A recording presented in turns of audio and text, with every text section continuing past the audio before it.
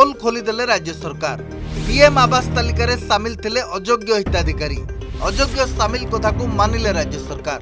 Argus ହାତରେ exclusive ଦସ୍ତାବିଜ।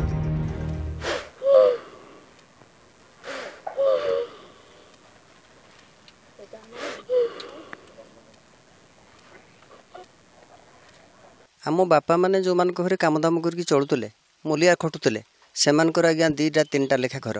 ଆଉ ଏମାନେ ହେଉଛନ୍ତି ସେହି ଯୋଗ୍ୟ ହିତାଧିକାରୀ ଯେଉଁମାନେ ବାପ ଅଜା ଅମଳରୁ ଯୋଗ୍ୟ ଥିଲେ ମଧ୍ୟ ପିଏମ୍ ଆବାସ ତାଲିକାରେ ନାଁ ନାହିଁ।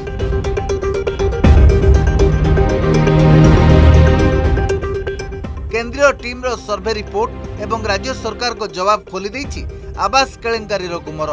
ଇଏ ହେଉଛି ଅର୍ଗସ ହାତରେ ଲାଗିଥିବା ସେହି ଦସ୍ତାବିଜ। ଯେଉଁ ଦସ୍ତାବିଜ ବୟାନ କରୁଛି କିପରି ଅଯୋଗ୍ୟ ହିତାଧିକାରୀଙ୍କ ନାଁକୁ ପିଏମ୍ ଆବାସ ତାଲିକାଭୁକ୍ତ କରାଯାଇଛି? କେନ୍ଦ୍ରୀୟ ଟିମ୍ର ସର୍ଭେ ସମୟରେ ଜଣାପଡ଼ିଥିଲା ପାଞ୍ଚ ଲକ୍ଷ ପାଞ୍ଚ ହଜାର ଅଯୋଗ୍ୟ ହିତାଧିକାରୀଙ୍କୁ ତାଲିକାଭୁକ୍ତ କରିଥିଲେ ରାଜ୍ୟ ସରକାର। ଏହାର ଜବାବରେ ରାଜ୍ୟ ସରକାର ଏହାକୁ ସ୍ୱୀକାର କରିବା ସହିତ ଏହି ଅଯୋଗ୍ୟ ହିତାଧିକାରୀଙ୍କ ନାଁକୁ ପରବର୍ତ୍ତୀ ସମୟରେ ତାଲିକାରୁ ଡିଲିଟ୍ କରାଯାଇଥିବା କହିଛନ୍ତି ଯେଉଁମାନେ ପୂର୍ବରୁ ଆବାସ ମାଧ୍ୟମରେ ପଞ୍ଜୀକୃତ ହୋଇଥିଲେ। ପାଞ୍ଚ ଲକ୍ଷ ବାଉନ ହଜାର ଏପରି ମାମଲା ରହିଛି ଯେଉଁଠି ଗୋଟିଏ ପରିବାରର ଏକାଧିକ ଲୋକଙ୍କ ନାଁକୁ ପିଏମ୍ ଆବାସ ତାଲିକାରେ ସାମିଲ କରାଯାଇଛି। ଯାଞ୍ଚ ସମୟରେ ଜଣାପଡ଼ିଥିଲା ଶ୍ରୀ ଓ ଶ୍ରୀମତୀ ଶବ୍ଦର ବ୍ୟବହାର ଯୋଗୁଁ ଏପରି ତ୍ରୁଟି ହୋଇଛି। ଆବାସ ସଫ୍ଟ ଖୋଲିବା ପାଇଁ ରାଜ୍ୟ ସରକାର ବାରମ୍ବାର ନିବେଦନ କରିବା ପରେ କେନ୍ଦ୍ର ସରକାର ଏକ ମାସ ପାଇଁ ଆବାସ ସଫ୍ଟ ଖୋଲିଥିଲେ। କିନ୍ତୁ ଏହି ଏକ ମାସ ମଧ୍ୟରେ ରାଜ୍ୟ ସରକାର ଏହାର ସଦୁପଯୋଗ କରିପାରିନଥିଲେ। ଏହି ଦୃଶ୍ୟ ହେଉଛି କେନ୍ଦୁଝର ଘସିପୁରା ବ୍ଲକ ଅନ୍ତର୍ଗତ ବୋତ ପଞ୍ଚାୟତର ଅତା ଗାଁର। ଦେଖନ୍ତୁ ଗାଁର ଦୃଶ୍ୟକୁ। କିଭଳି ଅନେକ ହିତାଧିକାରୀଙ୍କ ପାଖରେ ମୁଣ୍ଡ ଗୁଞ୍ଜିବାକୁ ଘର ନାହିଁ। ଆଉ କିଭଳି ଦୟନୀୟ ଅବସ୍ଥାରେ ରହୁଛନ୍ତି ଏମାନେ? ଅସରାଏ ବର୍ଷା ହେଲେ ଏହି ଫଟା ପଲିଥିନ୍ରୁ ବର୍ଷା ପାଣି ଝରେ। ଘରଟିଏ ପାଇଁ ହିତାଧିକାରୀମାନେ ପଞ୍ଚାୟତ ଅଫିସଠାରୁ ଆରମ୍ଭ କରି ବ୍ଲକ ଅଫିସରେ ଗୁହାରି ଜଣାଇଥିଲେ ମଧ୍ୟ କୌଣସି ସୁଫଳ ମିଳୁନି। ସବୁ ମନ୍ତ୍ରୀ ନେତା ସମିତିକି ଆମେ ଗୁହାରି କରୁଛୁ ସମିତିକ ଗୋଡ଼ କତିକି ଧାଉଁଛୁ। ଆମକୁ କେହି ଦେଉନାହାନ୍ତି ଘର ଖଣ୍ଡେ ଖାଲି କହୁଛନ୍ତି ତୁମର ନିଷ୍ଠି ଆସୁ। ଅମକେ ଆସୁ ଏମିତି କହିକି ଆମ କତରୁ ନେଇଯାଉଛନ୍ତି କ'ଣ କରିମୁ? ଯାହାକୁ ତ ବାପ ଗୁହାରି କନୁ କେହି ଆମ ଶୁଣିଲେନି ଆମ ଗୁହାରି। ଏ ଭଙ୍ଗା କୋଡ଼ିଆରେ ରହିନୁ ଗାଈ ଯୋଉଠି ମେଘ ହେଉଛି ସେଇଠି ରୋଷେଇବାସ କରିକି ଖାଉଛୁ ରହିଛୁ ଆଉ।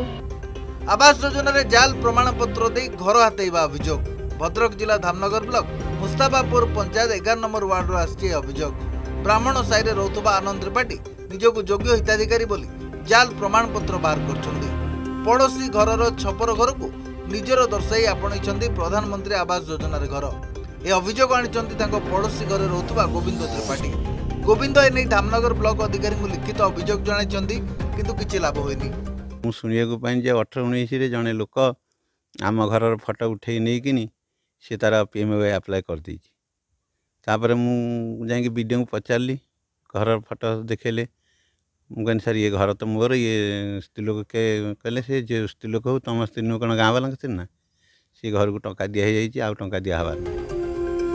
ଓଡ଼ିଶାରେ ଆବାସ କେଳେଙ୍କାରୀ ନେଇ କେନ୍ଦ୍ର ଗ୍ରାମ୍ୟ ଉନ୍ନୟନ ମନ୍ତ୍ରାଳୟର ଅନୁସନ୍ଧାନ ପାଇଁ ଅନୁପାଳନ ରିପୋର୍ଟ ସାମ୍ନାକୁ ଆସିବା ପରେ ରାଜ୍ୟ ସରକାରଙ୍କ ଗୁମର ଖୋଲିଲା।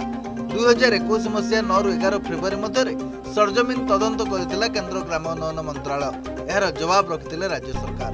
ବ୍ୟୁରୋ ଇନପୁଟ ସହିତ ଝାରସୁଗୁଡ଼ାରୁ Surendra Barik report Argus news.